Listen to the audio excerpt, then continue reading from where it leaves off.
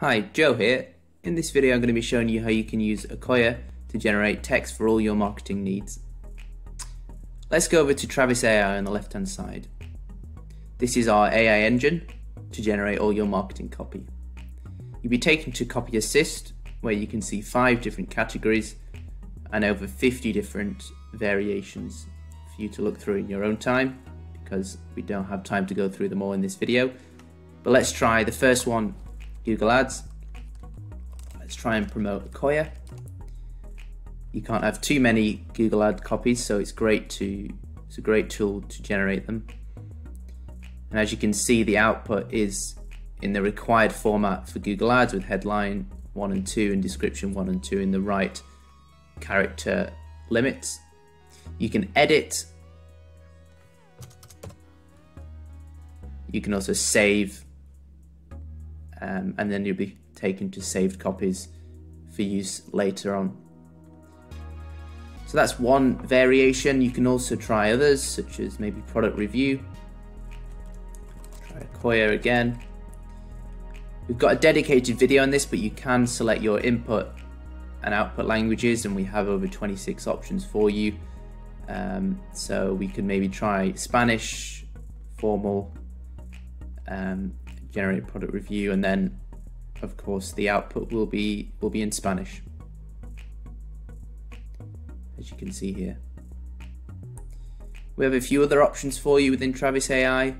Um, we have God mode. This is a tool where you can generate any text you can possibly imagine. Uh, if it's not included in Copy Assist, you can do it here. There's a few examples for you on the right hand side. Um, for example, write a, an email to my co-workers course, we're in Spanish, so it's going to be generated in Spanish. If We change it to English again.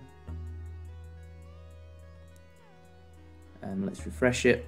Um, let's try a, an example off the top of my head. I've recently got a, a sausage dog, so let's try and come up with a name for them.